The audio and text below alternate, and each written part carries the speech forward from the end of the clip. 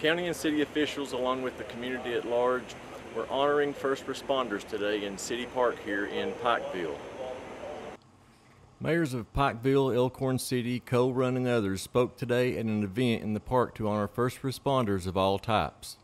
They built those cities on walls and mountains so they could see the enemy coming and if there was any danger ahead. And on those walls were called watchmen. In addition to honoring and respecting first emergency responders, military, dispatchers, corrections, and medical teams, there was also remembrance of those who have given their lives in the line of duty.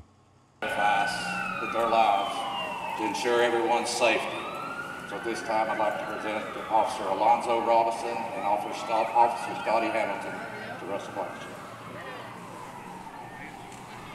Do you worry about having enough money to last throughout retirement? Give Reed Potter at Raymond James a call. Reed has 26 years' experience helping folks enjoy their best life in their retirement years. Part of the event was set aside for grade school students to sing patriotic songs waving flags on the front steps of the gazebo, while local band members performed a symphony rendition of the Star Spangled Banner.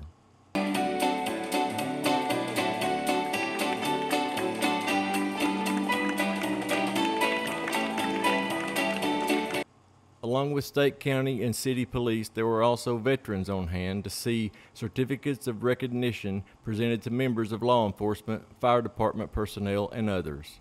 Often putting their own lives in, line.